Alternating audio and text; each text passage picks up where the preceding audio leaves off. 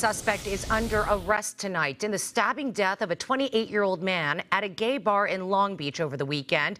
A second stabbing victim survived and is speaking out tonight about what led to the tragedy. John Fenoglio live in Long Beach with the latest details. John. Sure, Micah, this is such a heartbreaking story. We did speak with one of those victims who is recovering tonight. He tells us his partner of six and a half years was stabbed in the chest and later died in his arms. It was supposed to be a night to remember that ended in tragedy. Anyone who knew Chris knows that he's just the light in every room. Jake Stone is referring to his partner, Christopher Finley, who was killed outside this popular Long Beach gay bar Friday night. Police say the incident began just before midnight at the Mineshaft located on the 1700 block of East Broadway. Stone and Finley were enjoying a nightcap. Another man inside the bar was reportedly asked to leave because he was drunk. The man eventually left, but returned a short time later, police say, and began threatening patrons with a taser. According to investigators, Stone and Finley tried to de escalate the situation out on the sidewalk.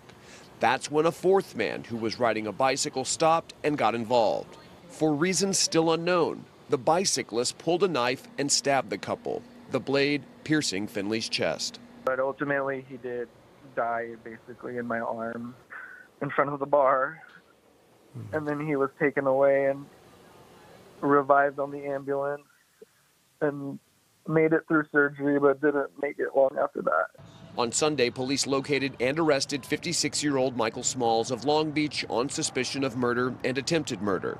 Stone says the pain of losing his best friend is almost too hard to bear. And he was so loving and just, he was so talented. He's my other half. I just don't know how I'm going to live without him. I'm just going to miss waking up every morning next to him and just him calling me his bub. Investigators say there is no evidence to suggest that this was a hate crime. Now, a GoFundMe has been set up for Finley. If you'd like to donate, you can find a link on our website, ktla.com.